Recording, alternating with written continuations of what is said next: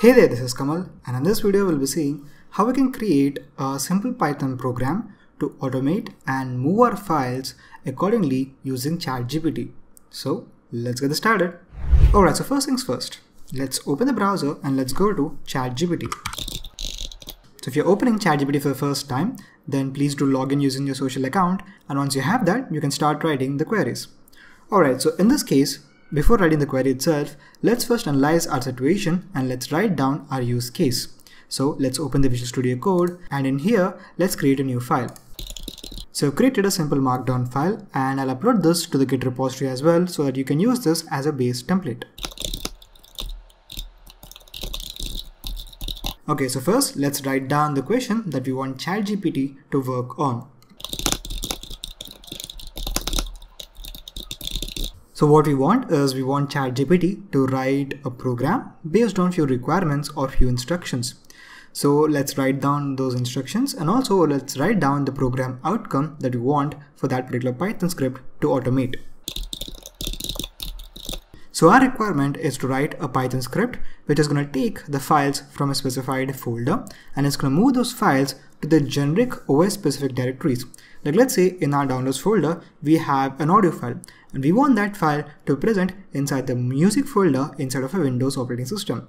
So in that way, any file or any folder that is present inside of the downloads folder should be moved accordingly based on the files or its extension.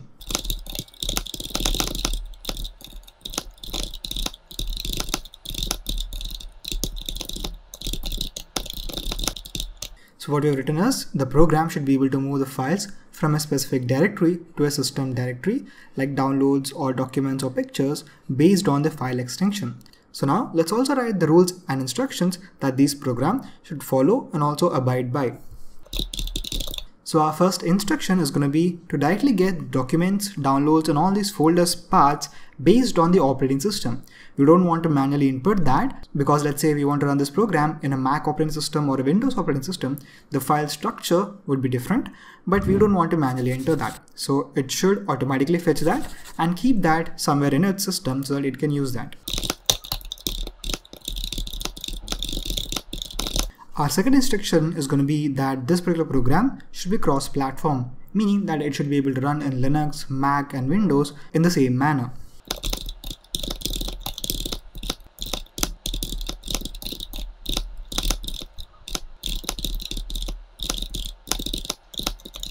Apart from this, we should also specify the location from which this program should automate and take the files from. In this case, it's going to be the source directory from where the files should be moved out from.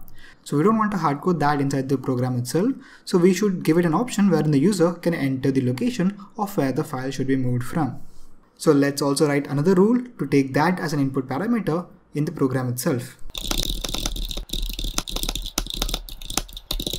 Alright, so these three instructions should be enough to get the program to take the files and also move those to specific folders like downloads or documents based on the extension. So now let's say there are a few files which are really old. Now there would be no point in moving those files to those folders like downloads or documents since we'll not be using those anymore. So we can filter out those files and keep those in a separate folder so that we can manually check those files and delete them if required. So let's create a separate directory to store these old files which are let's say not used for more than 30 days.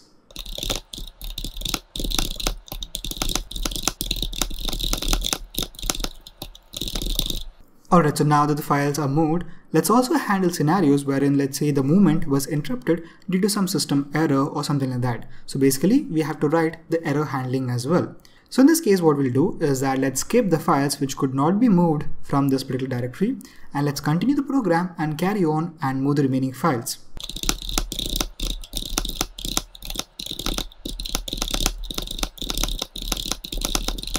So what we've written is that we want to write error handling wherein we want to ignore the files which could not be moved and at the end we want to print out the file names or the files which could not be moved so that we can analyze those files and see what the error could be.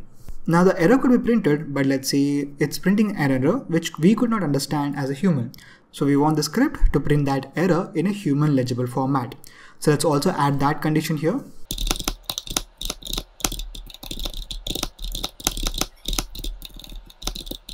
So now what our program is going to do is that it's going to recursively go through all the files and folders present inside our specified directory and it's going to move those files based on its extension. But let's say there is a particular folder which has some files inside of it. Now what happens is that this particular program will go inside of that folder as well and move those specific files. But in most of the scenarios, we don't want to move subdirectories unless and until specified. So in this case, what we'll do is that we'll tell the program to ignore folders. That means we should not move folders. Apart from that, any other file, it should move. So let's also add that condition. Alright, so apart from that, in few scenarios, there could be situations wherein the file that you're trying to move already exists in the specified system directory. So in those cases, you want to ignore those files as well. So let's also add another condition here. And also let's add another condition saying that keep the files which could not be moved in the same directory instead of moving them.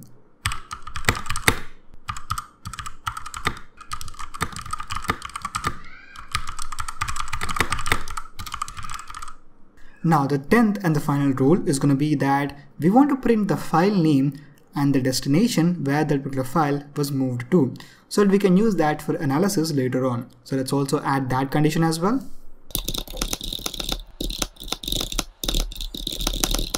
Alright, so with that, most of the rules that we wanted have been listed out. So now let's copy and paste those particular instructions inside of ChatGPT and let's see what program it's going to come up with.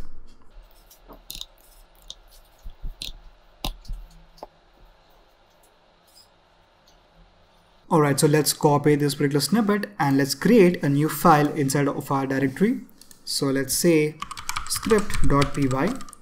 Now inside this, let's paste that and let's save that particular program. Alright, now let's open the command line and let's try to execute this particular program on the downloads folder that we have. So let me open the downloads folder once. So as you can see, there are few files inside of this particular directory. There are a lot of different extensions that we have here. So now let's run this program on the downloads folder and let's see which files it was able to move. And in this case, what I've done is that I've kept an ISO file which is already running in some other particular software. So the script should not be able to move this file. That means it should ignore this particular file. So let's see how it's going to perform on this and let's try to execute that now. So let's go back, let's open the terminal. In here, let's type in Python, give a space and then type in the file name. So now let's click on enter. So it's going to ask the source directory. So what you can do is that in this case, let's go back to this particular folder and let's open properties and let's copy this particular file's location. Let's close that, let's paste that here and let's click on enter. Okay, seems like there is an error, but let's open our downloads directory and see what has happened. Alright, so seems like most of the files have been moved, but as you can see this pop underscore os iso file was not moved and since it was being used by another program, it had some exceptions. So seems like there are still few more improvements that can be done on this particular program. So now what you can do is that if you already know Python, you can go through this particular code and improvise this on your own or you can go back to ChatGPT and tell it that the program is still not running correctly and seems like it's not ignoring the files correctly. So what you can do is that you can just say something like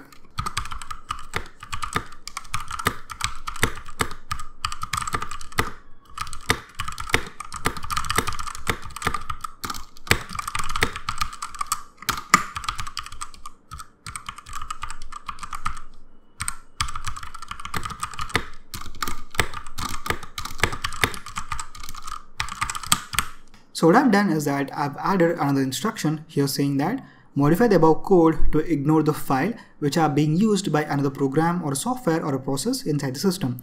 So what ChatGPT has done is that it has written another piece of block here. So what you can do is that you can copy this and as you can see it is telling us to write this here in this particular appropriate directories. So let's go back and let's go to our script.py. Let's close off the terminal for now so it's telling us to modify this particular method. So let's paste what we have copied previously and let's save that. Now let's try to run the program once again and see what output we're going to get in this particular scenario. So let's clear the screen. Let's type in Python and script.py. So let's try for the downloads once again. So it seems like this particular program is still not efficient enough. So let's copy this particular error that we're getting. Let's go back to ChatGPT.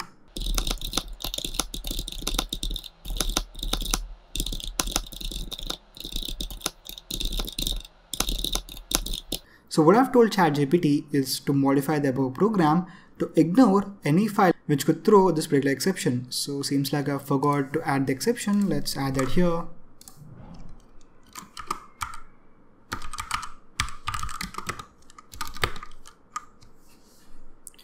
let's save and submit and let's see what it's going to come up with okay so now let's copy this bit once again and let's paste that here so in this scenario i'm not trying to understand the program and make the changes accordingly i'm just using ChatGPT to make the changes and let's see if that thing can execute that program so let's try that once again so let's enter the source directory Alright, so as you can see, the program is still not efficient enough to move the files which are being used by another process. So this could be an issue with the approach that we've taken or issue with the chat GPT itself understanding the query and giving out a program or anything in those lines. But what we have to do in these scenarios is to manually intervene and make the changes accordingly. But apart from those things, as you can see, the program itself is pretty robust and ChatGPT has done a pretty good job of writing out the skeletal structure of the program so that we can start working on that skeletal structure instead of writing everything from scratch.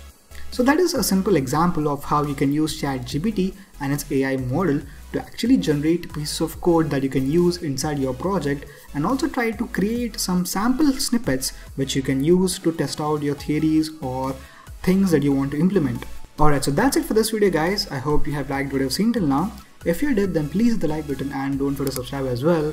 Thanks so much for watching and I hope to see you in the next video.